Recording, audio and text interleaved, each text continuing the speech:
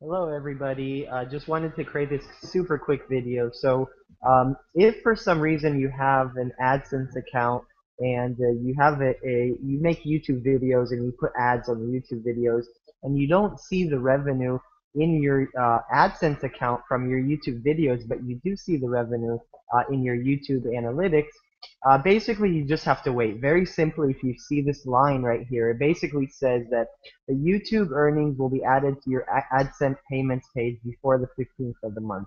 So uh, that's basically it. If you don't know that, um, you know, either you, you can uh, search it online or figure it out. But basically, once a month, you should receive, you should uh, have the YouTube earnings added from AdSense.